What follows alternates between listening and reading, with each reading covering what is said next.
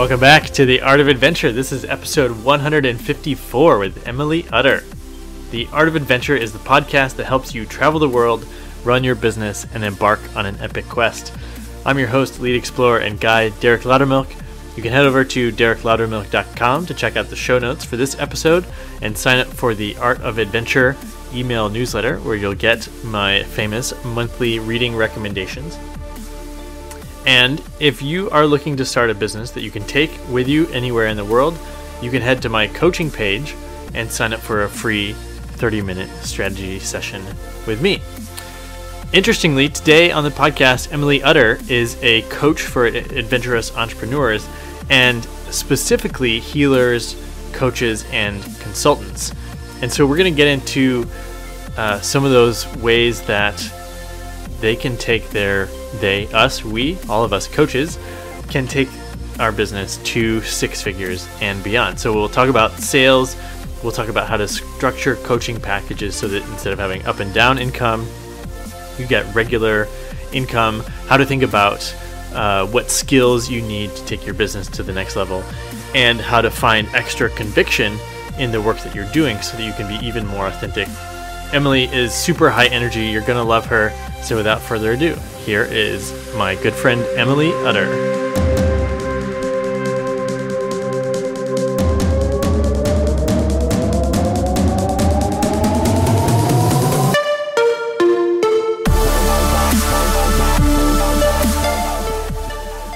Welcome back to the Art of Adventure. I'm here today with my friend Emily Utter. Welcome to the podcast, Emily. Thank you so much for having me, Derek. I'm stoked to be here.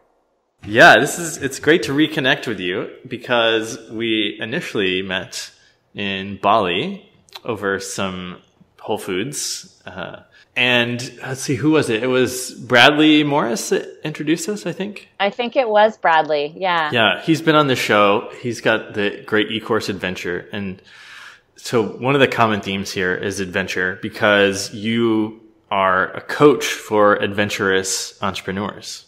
Hell yes. uh, what what is an adventurous entrepreneur? Well, to me, an adventurous entrepreneur is someone who just wants to have a super kick ass lifestyle, someone who loves to travel, someone who's really created their business and become an entrepreneur because they want adventure, because they want to be able to work from anywhere in the world with good Wi Fi, of course. Um, and I just think adventurous entrepreneurs have a little bit of a different flavor. I'd say we're a little bit rebellious, we're a little bit alternative. We want to do things our way, and we don't want the paradigms of the nine to five or the quote unquote real world to get in our way. I think we're pioneers and we're obviously awesome. Yeah, and and so we met in Bali.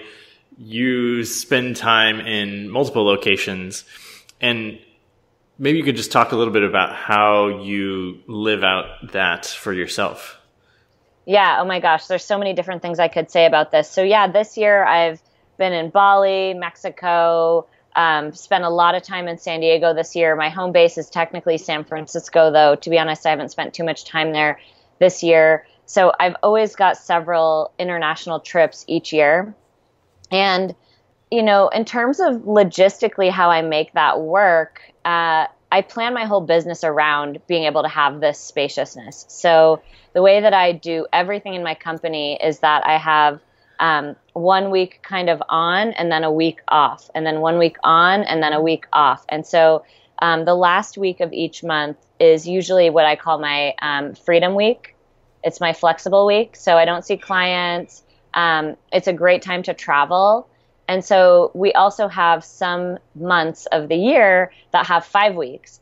And so in the five week months, I always have the two last weeks of those months off. And that's when I go to Bali or Thailand or wherever I want to go because I'll have that bigger chunk of time where I don't have client responsibilities really. So I might be popping in our Facebook groups to support and answer questions, but I love doing that and that doesn't feel like work to me. So I just create a lot of spaciousness in the way that I do my scheduling.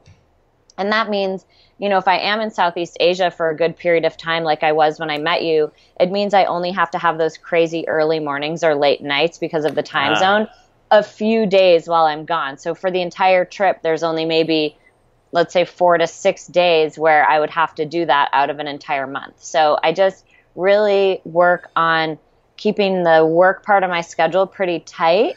And then I get to relax the rest of the time and, you know, work on stuff in my business, but not be, you know, on the phone with clients all day, every day. That's definitely not what my business looks like.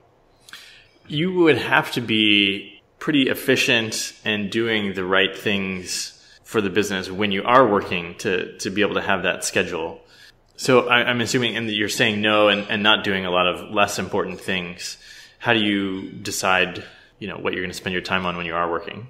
That's a really good question. So part of what I didn't say, Derek, is that um, you know, because I'm three and a half years into my business now, I've had the opportunity to really scale. So uh, I have, you know, let's say 60 clients, but 50 of those are in a group.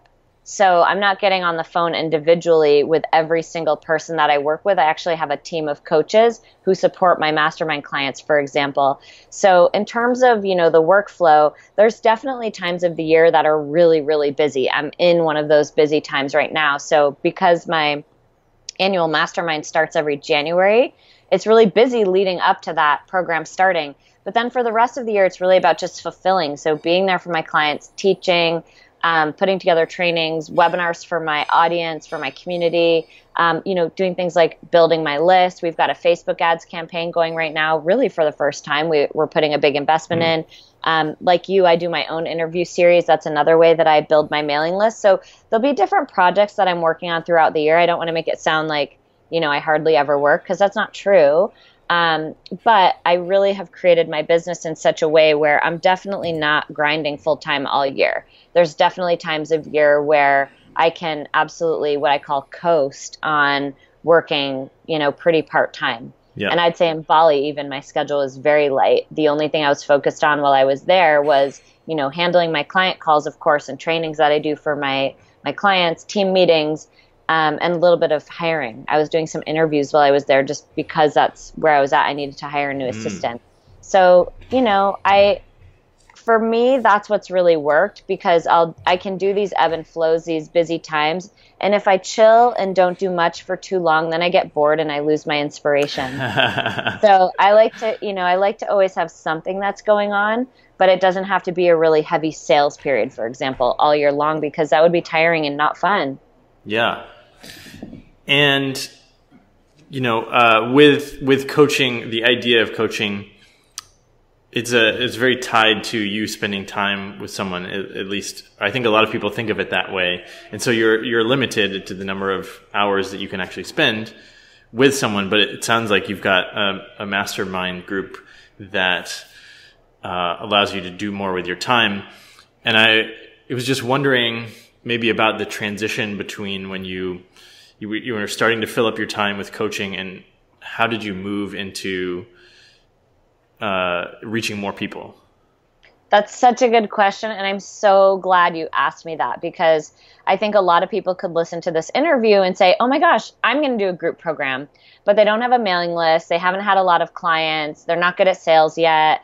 Um, they don't even know what program they would do. They don't know what they would teach. So, um, again, I think it's really important to kind of the first phrase that comes to mind is pay your dues. So mm. when I started my coaching company, I worked with one on one clients only. And I did that for probably the first year, year and a half or so. And I got really good at that. I got really good at getting my clients results. I got good at some of the other business skills. And then what I did and focused on in my second year of my business was really growing my mailing list. Um, so, you know, if you're wanting to do some kind of group experience, especially when you're selling at the high end, which is also what I recommend, um, you need to have an audience to sell to. So you can't just, I think a lot of people think you just have to have a pretty website. It's not true. I actually got to multiple six figures with what I call the ugliest website on the internet. I now have a beautiful website but I didn't have that when I hit my first real money. And I just really want new coaches to get that. Like, it's it's probably not what you think. And the other thing that I see a lot that I think is unfortunate is I think that a lot of coaches are encouraged to sell at the low end. So let's say a $29 product or a $99 product. But even that, you would have to have a big audience to sell the volume of those to be able to live off of it. Mm-hmm. So I actually teach the model completely differently where I say, "Hey Derek, focus on your one-on-one high-end clients, getting them into longer-term contracts." And then you can leverage out to a group after you've had the opportunity to build a following of, let's say, thousands of people 3,000, 5,000, 10,000 people, because then you actually have people to sell to. But when you don't have people to sell to, you can't fill a group. So don't jump the gun, is really my advice. Mm-hmm. It's actually get good at what you do. Um, and frankly, I think we all have to hone our craft. And so I don't think a brand new coach should be leading a group that size because you just need to get good at what you're doing. You need to become a better coach. And the only way to get good is to do it. So, coaching school is going to teach you a lot, but what's really going to teach you how to coach is being one. Yeah. Well, it's it's interesting. You know, when we had a conversation uh, when we met, you said, "Oh, you should you should raise your rates," and and I did that, and I was uncomfortable with it because I was uncomfortable with my own skill as a coach. Yeah. And you know, 200 coaching sessions later, uh, I'm pretty sure that I'm gonna you know provide some benefit, and so it's yeah. almost that just the practice uh, and the confidence in your own abilities to help someone uh, makes it much easier, you know, when it comes time to sign someone up for a high high value. Yeah. Exactly. And you should never charge more than you're comfortable with because you won't be able to close.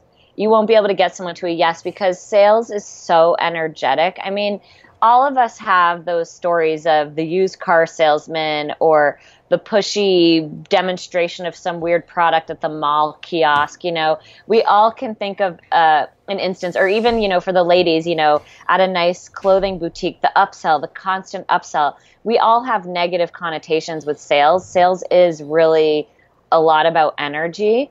And if you aren't feeling confident in what you're asking for, you're not going to be able to translate energetically that trust over to the potential client in order for them to want to give you their credit card.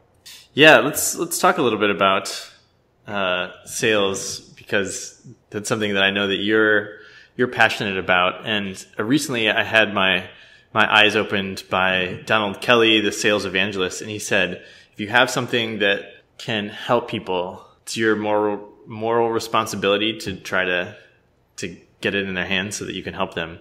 Yeah. Uh, which which made it a lot easier for me. I think there's still a part when when it comes time for someone to uh, to commit financially. They they in their minds, whether it's buying clothes or hiring someone to help them as in a coach, uh, when it's time to to actually part with their money, there's always I think something that goes on in their heads, in, in my head as well. Like, okay, is this really what I want to be doing. Um, so bridging that gap, maybe we can talk about bridging the gap when uh, both the potential coach and client both agree that it's a good idea to work together, um, making that happen. Okay, awesome. So are you talking about that moment where you tell them the price and they were totally a yes, and then they hear the price and they kind of pull back a little bit? Or is there a different moment of transition that you're talking about? That's a good. Let's talk about that one. That's a that's, big one. Yeah. Yeah, that's a really big one. So, oh my gosh.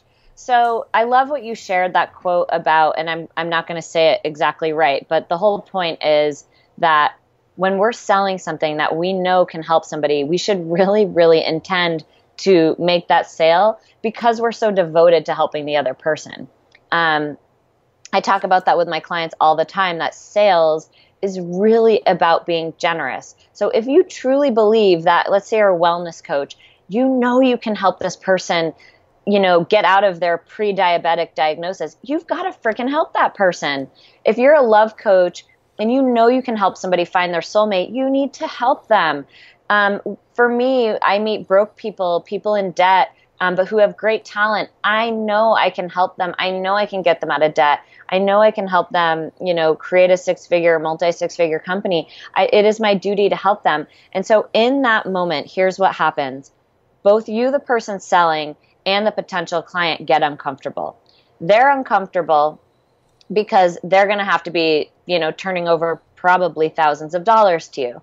Now, you as the person selling, especially when you're new, you're going to have a little bit of discomfort too because you're going to be like, well, shit, can I deliver the value? Mm. What if this person doesn't get the result? Oh, I'm feeling a little sleazy. I feel a little pushy asking for the credit card. So just know it, it is that moment where, like, uh oh, the stuff's coming up on both ends of the phone. Now, of course, you as the person selling, you can really grow your skills so that doesn't come up.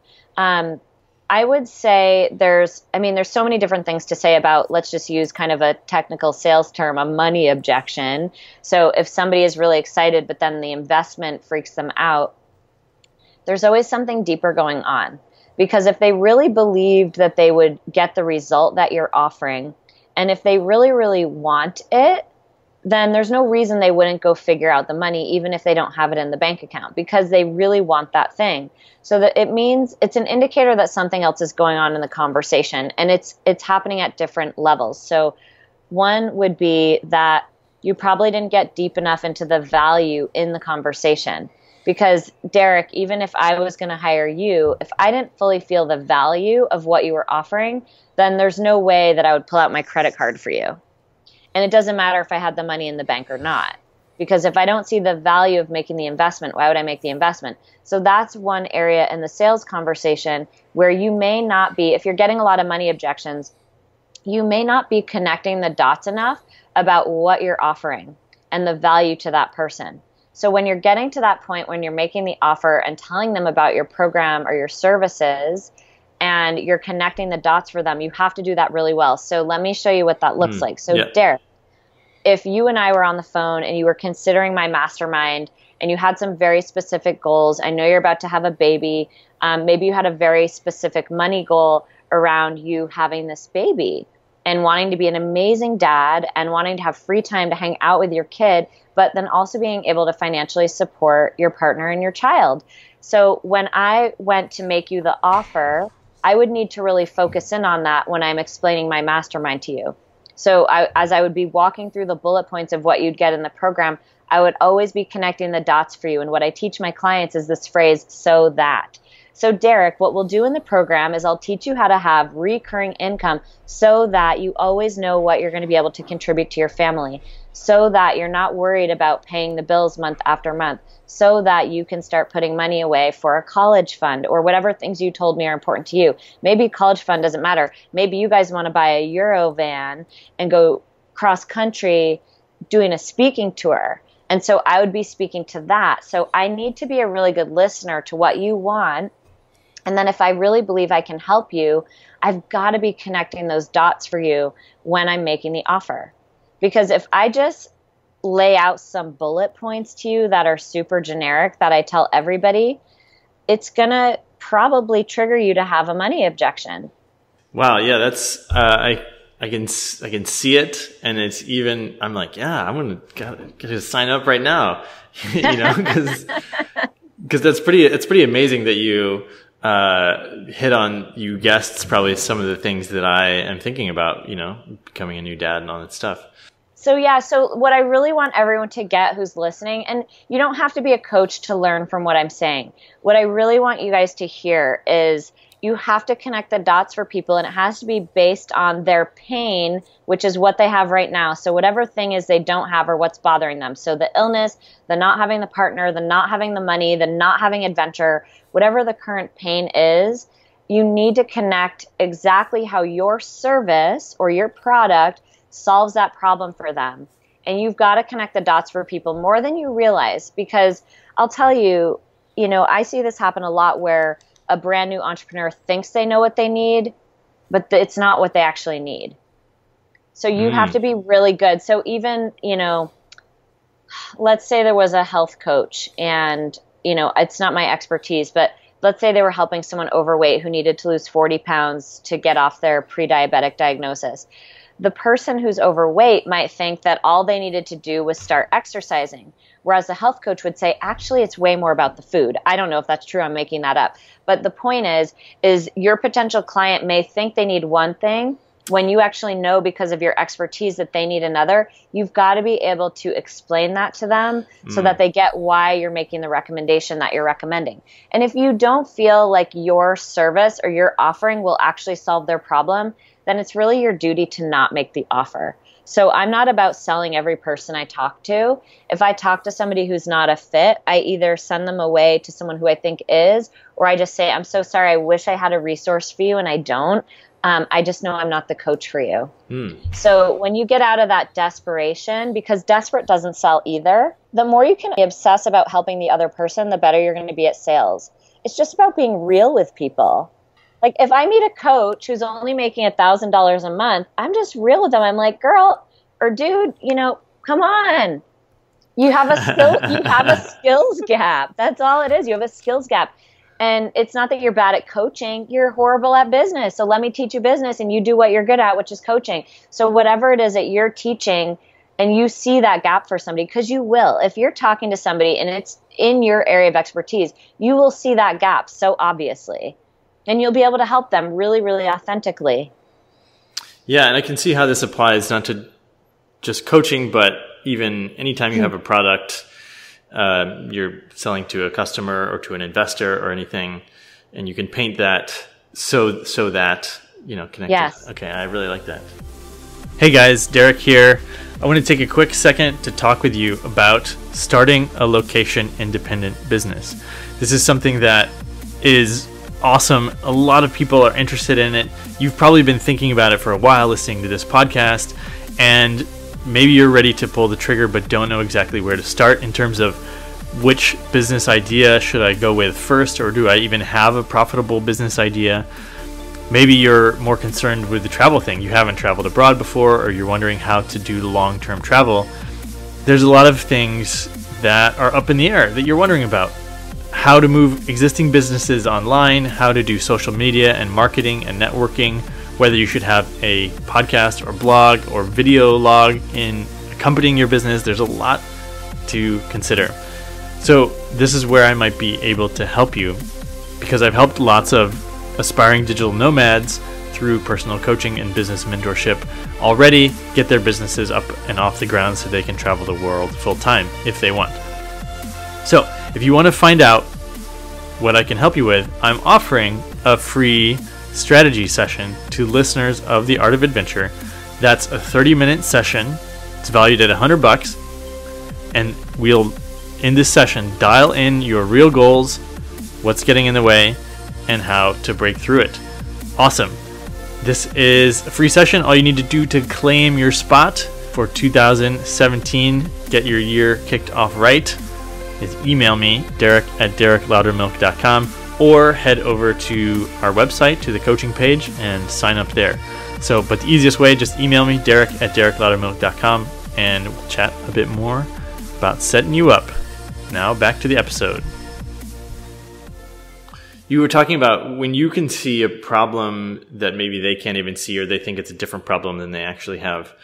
Mm-hmm. What What are some of the most common problems that you end up helping people with? Oh man, I could rant on this for a long time. Number one is the freaking website. I just have to get my website really looking good. No, you don't. Because I already just told you I, I I was if I wasn't at multiple six figures, I was like an inch away when I had the ugliest website on the internet. And I definitely hit my six figures with the ugliest website on the internet. Um, so stop worrying about that. Stop worrying. I hate when people tell me I don't have a business name. I don't care. Neither do I. I mean, I really don't. I'm emilyutter.com is my website. My legal business name is Emily Utter International. And, you know, the adventurous entrepreneur is a brand that I use, right? But I don't really have a real business name, okay? So that logo I didn't have until I was making great money. Um, you know, branding, I didn't have any of that. But what I did do was actually tell people WTF I do because I meet people all the time who they have a business supposedly and they don't tell anybody. So honestly, it's so funny. Um, the way that I got my very first client was because I just decided to start introducing myself as a coach at networking events. And even though I never had a client before, I would just tell people I was a coach. And at first I said I was an intuitive coach, which is hilarious because I don't do intuitive readings. I mean, once in a while for a kick with a friend, you know, five minute reading or something. So that's what I first said. Um, my point in saying this is I didn't know what I was doing. So it's fine if you don't know. You figure it out as you go along. Then I decided I was going to be a career coach. And that's actually what I started doing was career coaching. Then I realized, wow, how boring is that to send somebody back to a 9 to 5 cubicle? And that's when I transitioned fully to doing the business coaching. Um, so the the mistakes that I see people making are thinking they have to have all their ducks in a row. And it's actually like, no, I just want you to jump in the pool or I just want you to jump off the ledge.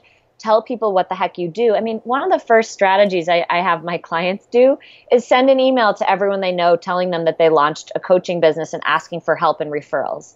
It's called a warm letter. I've got a video and a blog on it. It's all for free online. And I could give you those links if you want, Derek. But literally, and my clients are like, oh, I got leads from my warm letter. I'm like, of course you did, because you actually told people what you do.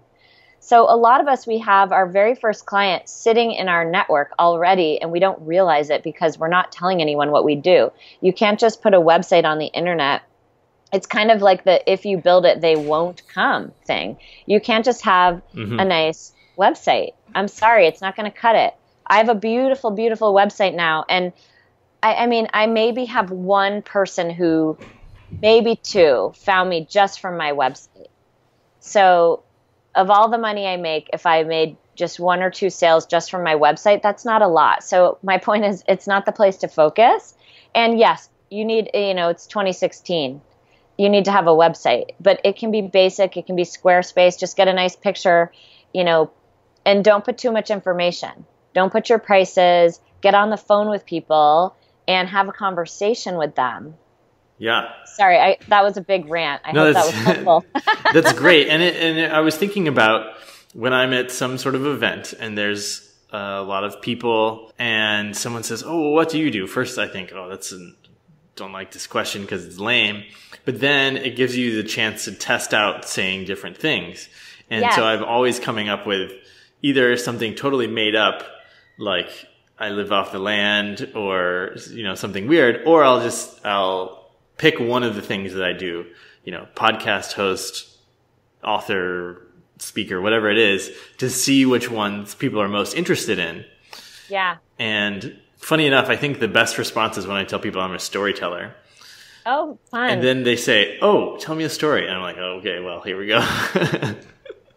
that's they, great. They want something right Good yeah, story. that's great it's good to have an interesting thing to say. And by the way, I teach networking, so I'd love to share one of my favorite tips if yes. that's cool. Yeah, let's okay.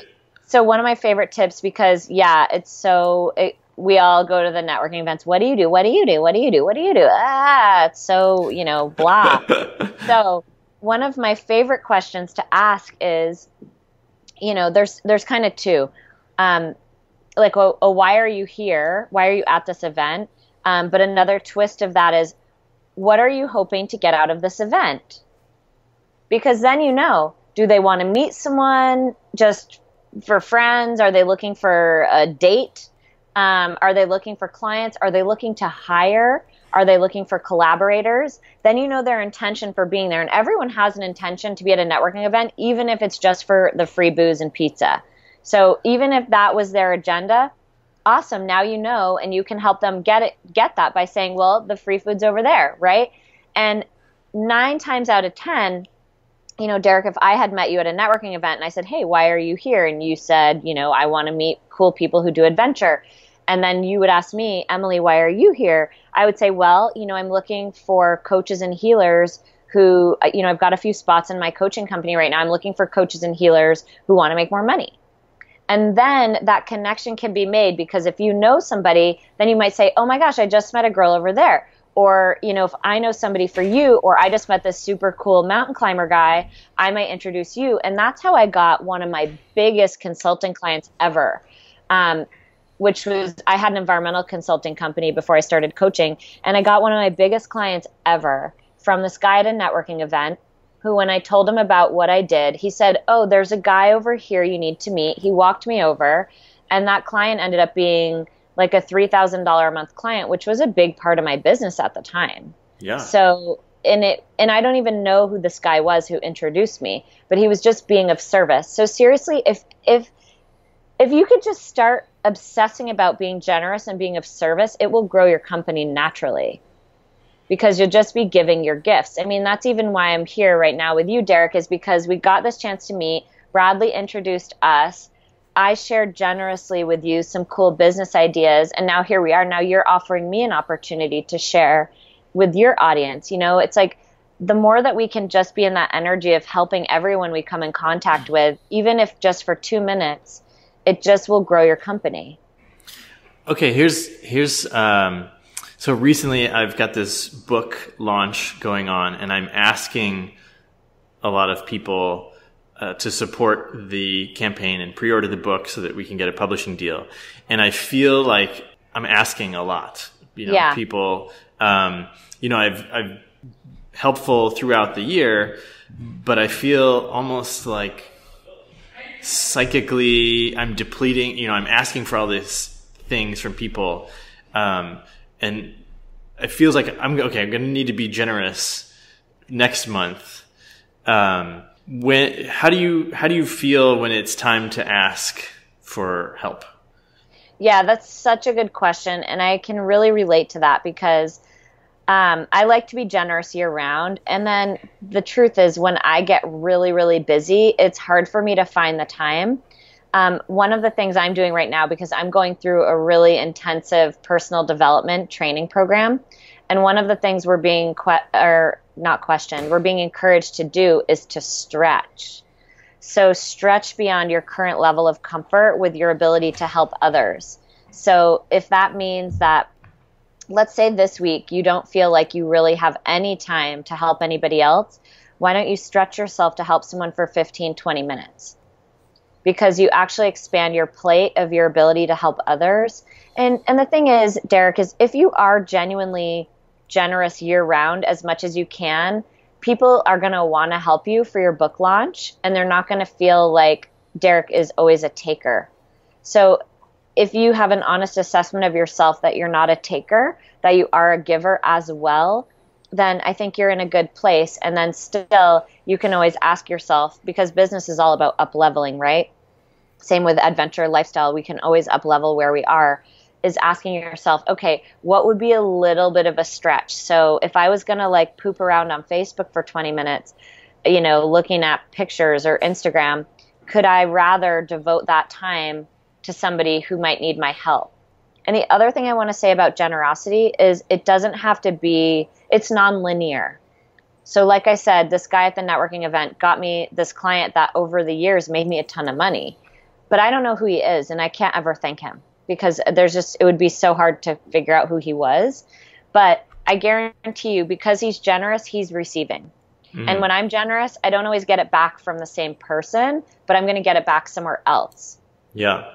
I had a I had an interesting experience just yesterday, actually, where um, a friend needed some help, and I spent an hour um, just working through stuff. And when I got off the phone, I had a bunch of sales come in the inbox. Awesome. And I was like, "How cool is look that? At, look at that." it totally works. It totally works. Yeah. Uh, speaking of up leveling, what's something that you have learned and up leveled recently? Oh man, that's such a perfect question for right now because uh, I'm going through this really intensive months long leadership training program. Um, so one of the things I'm really up leveling is even just how I show up as a coach and um, like becoming even more on fire about helping my clients it's it's crazy. Like you know, this morning I was talking to a girl who wants to do my mastermind program, um, and she was having some stress come up around the money, and and she needs to talk to her boyfriend about it again. And just my ability to just really like hear what was going on for her, I was like, I'm so busy and I don't really technically have the time to get on another call with her. And I'm just like, cool, let's talk again next week because I want to help you and your boyfriend feel really confident with you going forward with this conversation. So I'm expanding my own capacity of generosity. Um, there's so many things that are up leveling. I mean, everything is up leveling all the time. Um, my commitment to myself, uh, even one of the things I'm doing in my leadership program right now is they're having us up level even our outside appearance. So, you know, getting more regular like haircuts and mani pedis for the ladies and stuff like that. It's just like for all, even health and fitness, the food I prepare for myself.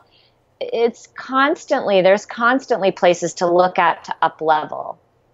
And in terms of, you know, what's really up leveled for me, Derek, that's allowed me to grow, you know, I've grown relatively quickly. There's people that grow a lot faster than me, but I would say on average, I'm a pretty fast paced growth company. And what has allowed me to do that is that I'm constantly up leveling my belief system.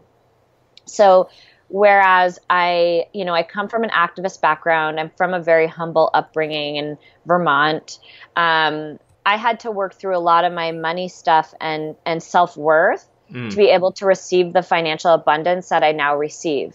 So even that has been a huge up leveling, and sometimes I still feel like I'm catching up with myself because I never saw myself in this place of running a company at the revenue that I'm at, um, having a team, uh, traveling the world. I mean, it's weird because everyone sees me as this traveler, but four years ago, travel would give me panic attacks. Hmm. Wow. And now it's like, yeah, I get anxiety when I travel about this or that, especially when I don't plan and I don't know where I'm staying. You know, I'm sure you've played that game. Like, oh, cool, I just arrived in Bali. Where, which hotel am I going to? Like, you know, I, I like to play that game sometimes, but it's just, it's just amazing how when we really work on our belief system, so much more becomes possible for us. And I see that being one of the big areas for coaches and healers too. Is they have a challenge receiving money because they think there's something wrong with receiving money. But money is energy and money is floating in the world anyway. So would you rather use it yourself and trust that you're going to do something good with it? Or would you rather it go to the people who are like driving stretch Hummer limos and, you know, tearing up our environment? So those are all, I mean, I could go on and on. We could have a whole podcast just on up leveling. what's, what's something that you mentioned being on fire, but what's something that gets you fired up that you want to take a stand on? Yeah. That I don't know. You'd be willing to.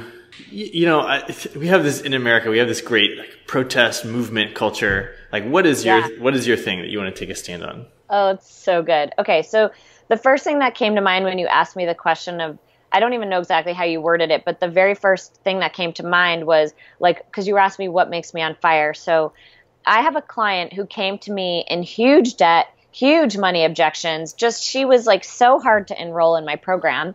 Now she's kicking ass. She's traveling around the world. She was actually just in Bali. She's paying for her and her husband to travel the world. They basically got married and they're taking a year honeymoon around the world. I'm watching her on Instagram. I'm watching her on Facebook. And I'm like, holy shit, this is the girl who almost two years ago I talked to who was terrified to spend a very little amount of, of what I was charging at the time to work with me. And now she's like kicking ass running around the world with her husband. So I'm so on fire about that. What I'm so on fire about is, and where I put a stake in the ground is I do not want to see coaches and healers that have these amazing gifts struggling to take care of themselves, struggling to pay their bills, not being sourced, not being able to get massages, not being able to eat organic food, not being able to travel. Um, and and feeling like they have to give their gifts away for free because you don't have to. It is not spiritual to be broke. God did not put us or whatever you believe in on this earth to be broke and struggle. We were put on this earth to live our gifts. And if you have a gift that you can't get out there because you don't have the right skills, you have to get help. And that's what that's that's really my mission is like it, it just breaks my heart when I see coaches and healers who struggle to make money and they think it's because they're not a good healer or they think it's because they're not a good coach and then they go get another certification or another training or Reiki level 27 and I'm like, you don't need Reiki level 27. You just need the the skills to back up your gift. So for me, I would be so freaking stoked to see people out there giving their gift. And not only that, that the people who need it step up to receive it. That the people who need it step up to make that investment in themselves. Because I feel like, you know, I don't know if I'm going on some woo woo crazy town thing right now, but I feel like the consciousness of the planet is rapidly transforming. The coaching industry is growing like crazy. Um, Reiki is a household word. People know what energy is. Um, there was just an article published that someone posted on Facebook that is now scientifically proving that we absorb energy from other people and that we can give energy to other people. So this substantiates the scientific proof of the healers out there doing their work. And so, I mean, I truly can imagine a world in our future where we are transformed, where we have received coaching, we have received healing, and we are freely giving our gifts, and that we don't I mean, the fact that we have a candidate running for president right now who is so full of hate and that that person is receiving votes is just a symbol of all of the problems that we have still in our country. And I believe that if people were healing on a really deep emotional level, we wouldn't see that. So mm-hmm. I think, you know, when I start looking at the ripple effect of this work, it's huge. It's really huge. And it starts with us loving ourselves and taking care of ourselves and feeding ourselves first and putting that air mask on first. Like we have to take care of ourselves. And you are not helping anyone by staying broke because you can't be fully of service when you're freaking broke. How can you concentrate on your clients when you're worried you're going to not be able to pay the bills? I love it. Got me fired up here. This is amazing. yes. Well, first of all, is there anything that I haven't asked you about that you think? Uh, oh man, I mean, I I think we should do this again because it's so fun. Um, there's so much to say, and I think the main takeaways that I hope people get from this conversation is really be generous and be generous to yourself. Take care of yourself and take a freaking stand for the people that you're supposed to help. Because if you really truly are devoted to helping people, then you owe it to them to get good at sales. You owe it to them to learn the business skills. You owe it to them to receive real money for what you're offering. Because people won't do, do the work if they're not invested. It's funny, I have a client who he's got two clients right now at two different rates. And he was telling us that the client who's paying him more is working harder and getting better results. So you actually owe it to your clients to charge a lot of money. And I know that may sound counterintuitive or you think Emily's greedy or whatever, but if that's the feeling you're having right now, you got to check your own money mindset because really we can all experience this abundance. And again, you're not helping anyone by staying broke. So really focus outwards, focus out with generosity, focus out with being of service, and know that in order for you to be the best coach possible, you've got to be treating yourself, taking care of yourself, um, taking care of your body, and all of that. Brilliant. Love it. Got a question that I ask all of my guests. Okay. Are you ready? Yes. What's your definition of adventure? Oh, yeah. Okay. So that's such a good question. My definition of adventure is really following the whims of your heart and soul, being spontaneous, and not letting anything get in the way of the thing that you want to do. Love it. Thank yeah. you. Emily, what's the best place for people to find you online? Um, the best place to find me is just my website, emilyutter.com, and that's Emily Utter, U T T E R is how you spell my name. It's like butter with no B.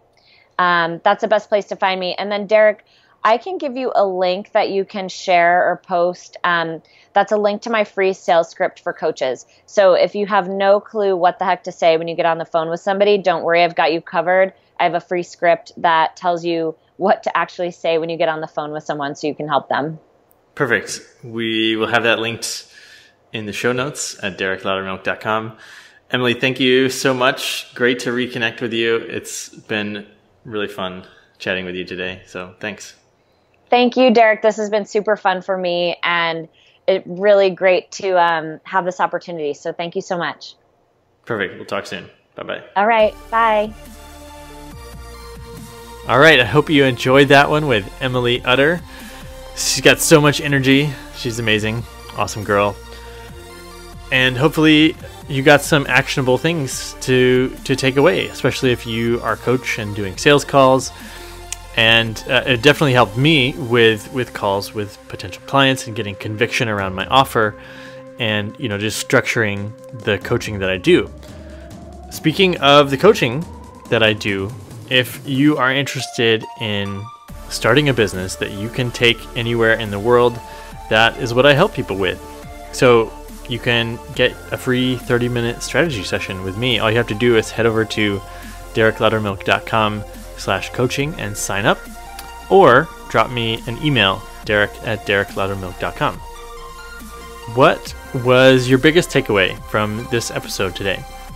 If you leave your answer in a review in iTunes, first of all, that helps that helps keep the show up in the rankings and helps other people find out about it. So it is doing a good service for everyone.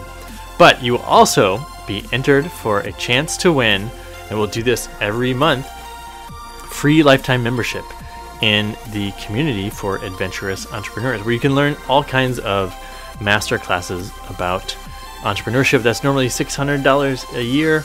So we'd love for you to leave a comment and support the show and your chance to win membership. Thanks so much for listening. Now it's your turn to go out there and be adventurous.